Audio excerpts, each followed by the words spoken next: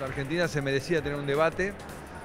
Siento que ha habido ideas muy inteligentes y que realmente espero profundizar a partir del 10 de diciembre y convocarlos a ellos.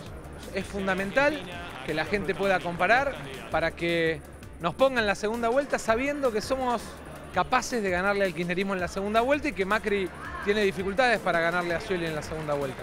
Lo importante sería que esto tuviera como resultado que aquellos que estaban indecisos pudieran definirse y aquellos que estaban esperando escuchar hayan podido obtener en nuestras palabras alguna ratificación o alguna idea que les ayude a decidir.